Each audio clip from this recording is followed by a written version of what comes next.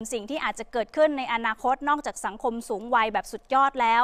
ผู้ป่วยที่เป็นผู้สูงอายุก็อาจจะเกือบล้นโรงพยาบาล นี่เป็น keyword สำคัญที่จะชวนคุยกันต่อกับคุณวชิรวิทย์เลิศบำรุงชัยนะคะ ถ้าดูสภาพสังคมของไทยในเวลานี้ อะไรคือสิ่งที่ควรจะเร่งแก้ไขมากที่สุดคะ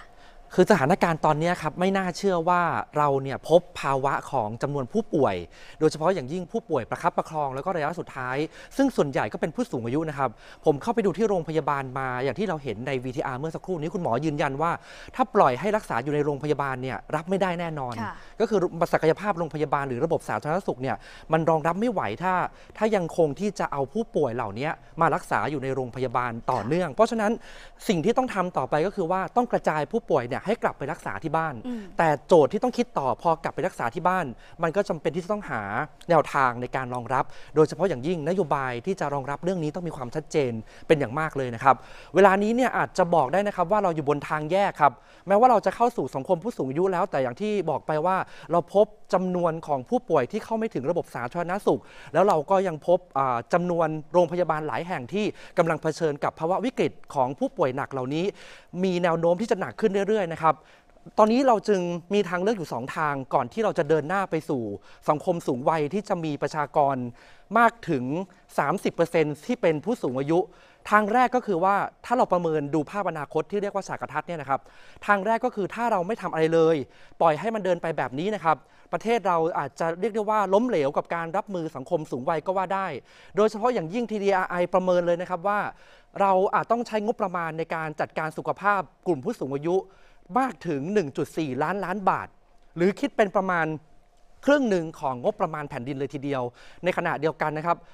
ภาระต่างๆ ก็จะตกอยู่กับคนรุ่นใหม่ ที่จะต้องดูแลผู้สูงอายุในครอบครัว อาจจะมากกว่าหนึ่งคนขึ้นไป และถ้ายิ่งเป็นผู้สูงอายุที่ป่วยด้วยแล้ว ก็ยิ่งมีความซับซ้อนมากยิ่งขึ้นครับ นี่ก็อาจจะเป็นภาพที่เลวร้ายที่สุด ถ้าเราไม่เตรียมพร้อม เราจะเห็นภาพแบบนี้เกิดขึ้นอย่างแน่นอน แต่อีกทางหนึ่งก็คือว่าถ้าเราเตรียมความพร้อม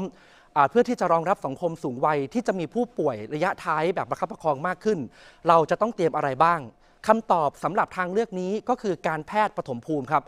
การแพทย์ปฐมภูมิจะเป็นคำตอบของสังคมสูงวัยในอนาคต อย่างดีเลยทีเดียว เพราะว่าจะเป็นการเหมือนกระจายเอาผู้ป่วย จากโรงพยาบาลที่ไปแออัดกันอยู่โรงพยาบาลเนี่ยให้กลับไปรักษาที่บ้าน แต่พอกลับไปรักษาที่บ้าน ระบบที่จะรองรับก็คือ หน่วยบริการปฐมภูมิ อาสาสมัครสาธารณสุข แล้วก็ทีมแพทย์ในโรงพยาบาลที่จะต้องออกมาดูแลผู้ป่วยที่เอากลับไปรักษาที่บ้าน และต้องมีระบบการส่งต่อเวลาผู้ป่วยกลับไปรักษาที่บ้านแล้ว เกิดอาการฉุกเฉินก็ต้องกลับเข้ามาที่โรงพยาบาลได้ด้วยเช่นเดียวกัน ตอนนี้นะครับถ้าพูดถึงในเชิงนโยบายเนี่ยกรุงเทพมหานคร ทำสิ่งที่เรียกว่าแซนบล็อกระบบสุขภาพ เพื่อที่จะทดลองดูระบบการส่งต่อผู้ป่วย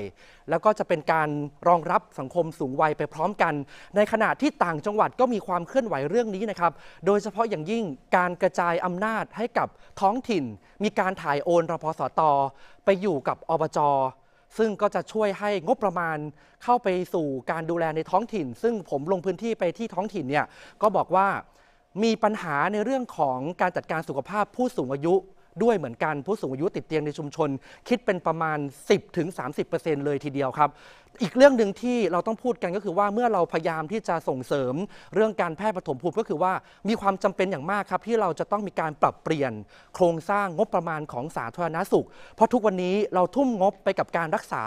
มากกว่าการป้องกันโรคครับ แต่ถ้าเรามองเห็นแนวโน้มแล้วเนี่ยเราจะมาทางการแพทย์ปฐมภูมิ เราต้องเปลี่ยนครับ งบจากการรักษาต้องเปลี่ยนมาที่เรื่องการป้องกันโรค เพราะว่างบป้องกันโรคเป็นงบของหน่วยบริการปฐมภูมิ ซึ่งก็จะใช้ดูแลผู้ป่วยติดเตียงติดบ้านเหล่านี้ได้ด้วย ในขณะเดียวกันนะครับ เรื่องงบประมาณก็สำคัญ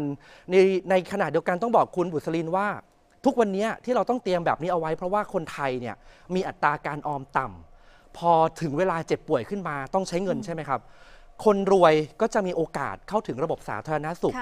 ที่มากกว่าคนรายได้น้อย ถ้าเราไม่มีการจัดการในเรื่องของการปรับโครงสร้างงบประมาณ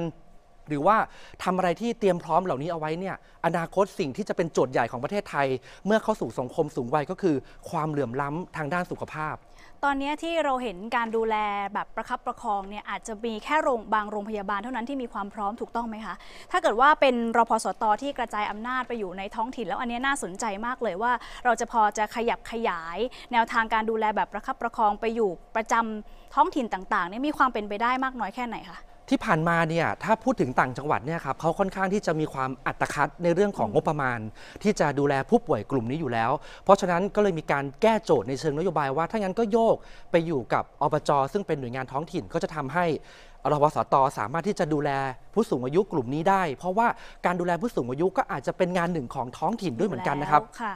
เป็นงานหนึ่งของท้องถิ่นที่ต้องดูแลอยู่แล้ว และทีนี้ความกังวลอย่างที่คุณวชิรวิทย์บอกไป คือในกรุงเทพมหานครเนี่ยอาจจะดูแลยากกว่าด้วยซ้ำเนาะเพราะว่าด้วยสภาพแวดล้อมต่างๆของคนสูงวัยนี่ก็ต่างจากในต่างจังหวัดเหมือนกัน ตรงนี้เป็นข้อสังเกตของอาจารย์เจิมศักดิ์ด้วยเหมือนกันนะครับที่เป็นห่วงผู้สูงอายุที่อยู่ในเมือง ถ้าเป็นผู้สูงอายุที่อยู่ต่างจังหวัดเนี่ยยังมีชุมชนโดยรอบ หรือว่ามีญาติพี่น้องคอยที่จะดูแลนะครับแต่ว่าถ้าอยู่ในเมืองเนี่ยอยู่คนเดียวแบบนี้เนี่ยอันเนี้ย จะต้องหาระบบมารองรับด้วยเช่นเดียวกัน ซึ่งระบบที่รองรับอย่างว่าก็คือว่าการส่งต่อ เพราะว่าคนผู้สูงอายุในเมืองเนี่ยต้องต้องเขาต้องมีการเชื่อมต่อกับโรงพยาบาลให้ให้แนบสนิทเลยนะครับ เพราะว่าไม่มีคนดูแล เวลาเกิดหกล้ม หรือเกิดมีอาการหนักขึ้นมาเนี่ยจะต้องสามารถที่จะเข้าถึงอ่าโรงพยาบาลได้ อันเนี้ยอาจจะช่วยปิดช่องว่างในเรื่องค่ะของผู้สูงอายุที่อยู่ในเมืองได้ครับ คุณวชิรวิทย์พอจะมีข้อมูลเรื่องกับหออภิบาล หรือว่าการดูแลผู้ป่วยระยะท้ายในกรุงเทพมหานครในตอนนี้ถือว่าเพียงพอหรือยัง กระจุกอยู่ในโรงพยาบาลใหญ่ๆนะครับอืมต้องบอกว่ากระจุกอยู่ในโรงพยาบาลใหญ่ๆ อย่างเช่นอ่าโรงพยาบาล 11 สังกัดของกรุงเทพมหานคร แล้วก็โรงพยาบาลของรัฐโรงเรียนแพทย์เหล่านี้จะมีหออภิอ่าอ่าหออภิบาลค่ะหรือว่าที่เรียกว่า ICU หรือก็อาจจะเรียกว่าวอร์ดผู้ป่วยหนัก แต่ว่าคุณบุตรินเชื่อไหมครับว่า แต่ว่าส่วนใหญ่เนี่ยเวลาผู้สูงอายุที่อยู่ในในระยะท้ายเนี่ยในกรุงเทพนะฮะค่ะ เขาจะไปรักษากันที่โรงพยาบาลเอกชนอืมซึ่งต้องยอมรับว่าพอถึง การรักษาในระยะท้ายเนี่ยต้องใช้เงินจำนวนมาก เพราะฉะนั้นนี่เราจะเริ่มเริ่มเห็นความเหลื่อมล้ำของระบบสุขภาพ และคือคนมีเงินเขาก็ไปรักษาที่โรงพยาบาลเอกชนกันซะมากกว่าในขณะที่โรงพยาบาลรัฐเนี่ยก็รับรักษาเหมือนกันตามสิทธิ์ แต่เราจะพัฒนายังไงให้คุณภาพบริการของโรงพยาบาลรัฐเนี่ยมันเทียบเท่ากับเอกชน แล้วจะทำยังไงให้เอกชน กับโรงพยาบาลรัฐมี mindset เดียวกัน ที่จะ เน้นในเรื่องของปฐมภูมิ แล้วกระจายผู้ป่วยเนี่ยกลับไปรักษาที่บ้านอืมให้มีคุณภาพชีวิตที่ดี ทั้งเรื่องของกายจิตใจ แล้วก็จากไปอย่างสงบ และอย่างโควิด -19 เนี่ยเราเห็นภาพชัดเลยว่าอสสนะคนที่ดูแลเรื่องสุขภาพของชุมชนเนี่ยมีน้อยอยู่แล้ว โดยเฉพาะถ้าไปเทียบกับทางจังหวัดเนี่ยยิ่งน่าเป็นห่วงใหญ่เลยนะคะบุคลากรก็ยังเป็นปัญหาอยู่ คุณวชิรวิทย์ประเมินว่า ช่วงเวลาแค่ไหนที่เราพอจะมีเวลาเตรียมพร้อม แล้วก็รับมือกับเรื่องนี้ เขาเรียกว่าอะไรคะมันมันเขาเรียกว่าเป็นเหมือนระเบิดเวลาอ่ระใช่เบิไหดมครับเมื่อไหร่จะระเบิดอะอีก 10 ปีครับ อย่างอีก10ที่เราปีนะประเมินไว้ว่าค่ะ10 กว่าปีเนี่ยถ้าสัดส่วนประชากรผู้สูงอายุถึง 30%เมื่อไหร่เนี่ยตอนนี้ก็ว่าแย่แล้วนะครับอืมแล้วแล้วก็เลยต้องถามว่าทำอะไรกันอยู่บ้างตอนนี้อืมก่อนที่เราจะเดินไปอีก 10 ปี ที่จะมีผู้สูงอายุมากถึง 30%ตรงนี้แหละครับ เราก็ยังพอพอเห็นยังมีความหวังนะฮะเห็นการวางนโยบายต่างๆ แต่ก็ต้องดูกันต่อไปว่าวางออกไปเป็นนโยบายเนี่ยปฏิบัติได้ไหม